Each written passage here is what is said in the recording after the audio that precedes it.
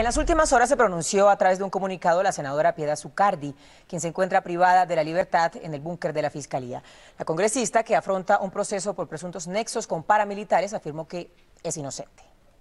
La senadora Piedad Zucardi, desde el búnker de la Fiscalía, a través de este comunicado de prensa, afirmó que se someterá a la justicia para demostrar su inocencia. Con mi entrega voluntaria hago cumplimiento a lo que yo misma indiqué en un comunicado la semana pasada, en el que manifesté mi decisión de respetar la ley y la confianza que tengo en la justicia de mi país y sus diferentes actores. Zucardi dijo que su entrega fue coordinada entre las autoridades de Panamá, país donde se encontraba, y Colombia. Reitero además que nunca hice trámites para asilarme en el exterior y confirmo que el doctor Alberto Morales Támara fue quien lideró mi proceso de entrega porque siempre estuve dispuesta a responder ante los colombianos. Piedad Zucardi tendrá que comparecer ante la Corte Suprema de Justicia por sus presuntos vínculos con el bloque Montes de María de las Autodefensas, que al parecer la apoyó durante su candidatura, según Manuel Antonio Castellanos, alias Chino.